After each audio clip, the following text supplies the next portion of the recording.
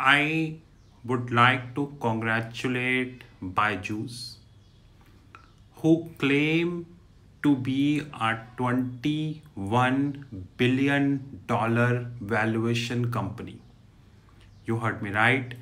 21 billion dollar valuation company.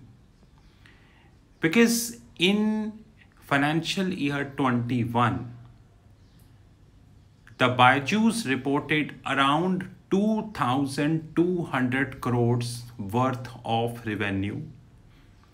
And the very congratulating fact is the losses is near about 4600 crores.